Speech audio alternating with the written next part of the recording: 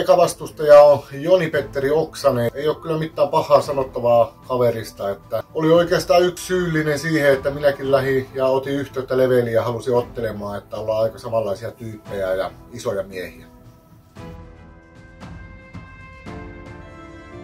Kyllä se olla kärsivällinen ja käyttää sitä voimaa niissä lyönneissä ja silloin kun on paikka, niin iskeä. Minun voimakkain näistä neljästä otteluissa, että siinä se on se minun iskun paikka. Kärsivällisyys ja ainakin uskoisin, että minun kuntopohja alkaa olla sillä tasolla, että pystyisin kolme erää menemään aika lujasti. Debyttiottelu tiedän tietenkin, missä pitää kehittyä, mutta tämän jälkeen tietää vielä paremmin ja lähdetään sitten sitä, niitä osa-alueita myös parantamaan. Sain vierejä vapaaottelusta ja kova ukko.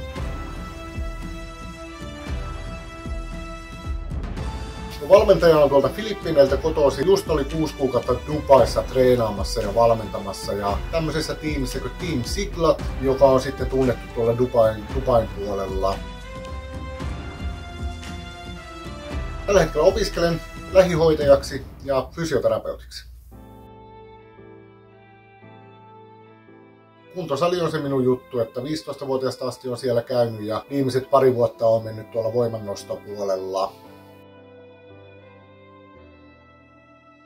On kotoisin tuommoiselta pikkupaikkakunnalta Lapista kuin Tervola. Let's go Tervola. minkä takia turvallisuusala joudunkin jättää taakse, niin oli, että meni reisiluu tuosta keskeltä poikki aika pahasti. Ja leikkauksia on ollut semmoinen pari kolme jo tähän mennessä ja meni semmonen kolmesta neljään vuoteen ennen kuin kunnolla pystyi edes kävelee ja vieläkin välillä vähän kipuja on.